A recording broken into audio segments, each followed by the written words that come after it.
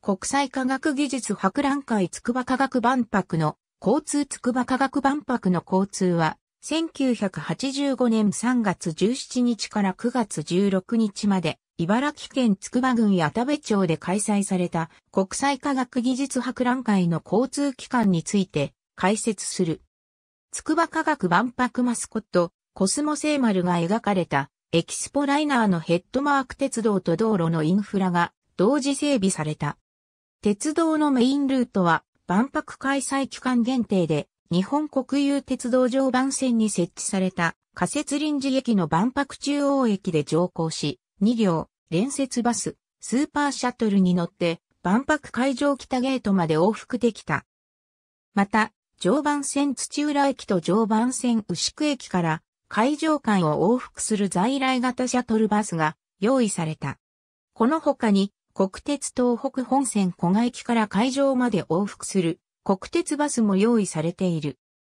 一方道路では常磐自動車道をメインルートに東京方面からは、矢田部インターチェンジを降りて、再演奏通りを使うか、矢田部仮出口を降りて、国道408号を経て会場へと向かうルートと、水戸方面からは、桜土浦インターチェンジを降りて、学園東大通りとエキスポ大通りを経て会場へと向かうルートが、それぞれ一目でわかるように設置された案内標識により案内された。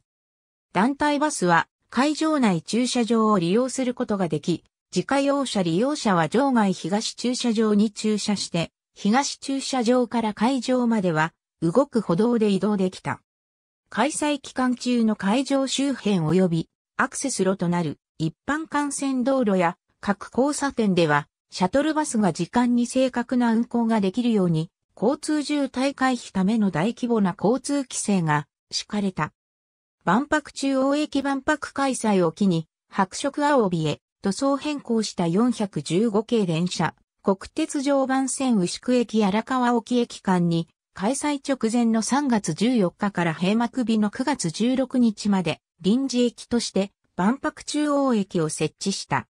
万博客を迎える鉄道の表玄関となるため、1日、最大20万人の乗降者に対応できるよう設計され、この当時の名古屋駅、京都駅にも匹敵する規模があった。西口は、シャトルバスが発着する6本のバースと白や黄色の巨大テントが張られた待合広場があり、東口は連接バス、スーパーシャトル100台の待機場が併設された。営業する国鉄は、マスコットマークや天井パネル、BGM でパビリオンさながらのムード作りをしたり、記念乗車券の発売を行った。万博閉幕後に取り壊される前提で建設され、1982年7月から約2年8ヶ月をかけて完成し、1985年3月8日に関係者を集めた完成記念式典が行われた。地元民は閉幕後も万博中央駅の恒久的存続を請願したものの国鉄は設備が仮のものであるといった理由などで拒否したためこの地に同駅が存在した証として牛久方の上下線間連絡用古線橋を残すことを承諾させ、さらに、飛翔と題された記念碑を設置した。臨時駅開設13年後の1998年3月14日に、同駅設置場所を新たに日立の牛久駅として開設。これに伴い古線橋は撤去され、石踏みは牛久市役所にて保管後、日立の西公園へ移設されたが、2009年に日立の牛久駅西口に再移設された。駅舎正面にあった駅名看板は非公開ではあるが、現在も牛久市役所の倉庫に保管されている。エキスポライナー号、エキスポライナー3対キハ58系415系、電車 EF8118 プラス12系、客車上野駅、我孫子駅、取手駅、大宮駅万博中央駅、土浦駅間に、下り7時から16時台、上り12時から22時台に、臨時快速列車、エキスポライナーが設定された。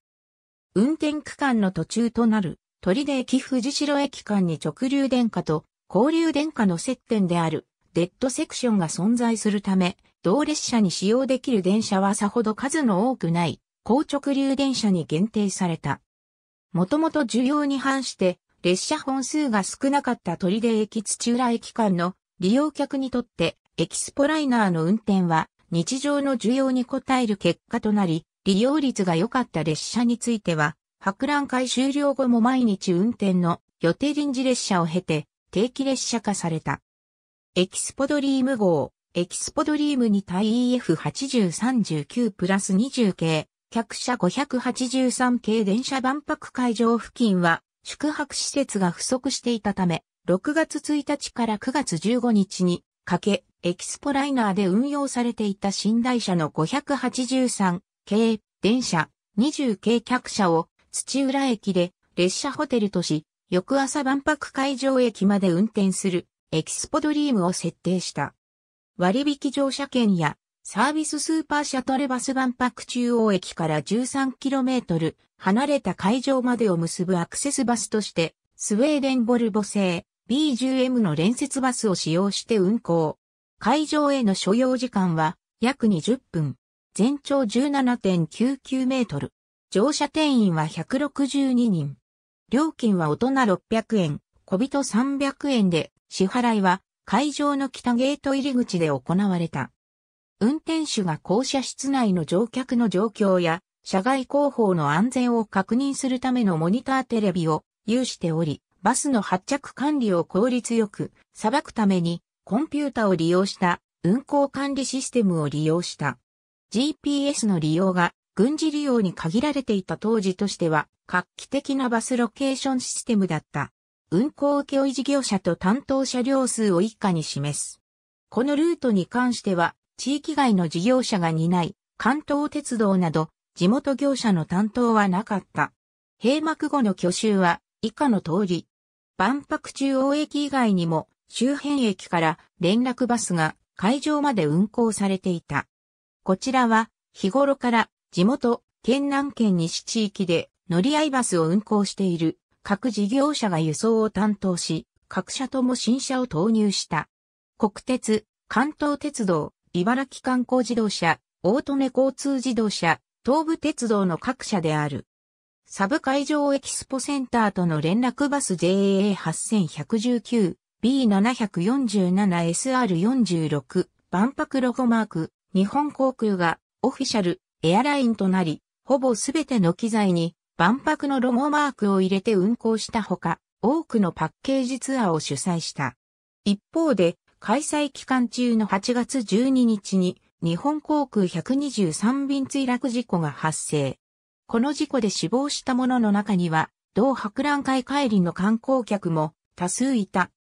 当は国内航空、朝日紅葉、新日本国内航空により、東京国際空港、東京ヘリポート、新東京国際空港などから万博会場へヘリコプター便が運航されていた。飛行時間は30分以内で、料金は13,800から19,580円。会場のヘリポートからは西口ゲートまでバスで送迎された。バスの乗車時間は約8分。つくばヘリポートは未開業。HSST-03 岡崎市南公園に移設された HSST-03 ピスタライナー HSST 方式実機浮上式鉄道東博覧会期間中は試験車両の HSST-03 を使用してデモ運行を行った。